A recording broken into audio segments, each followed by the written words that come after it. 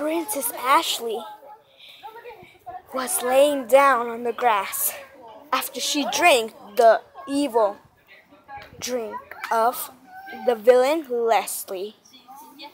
Wait, what? Villain Leslie's trap didn't get to Ashley, the princess.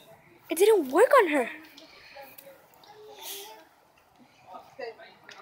Guess that was the evil villain.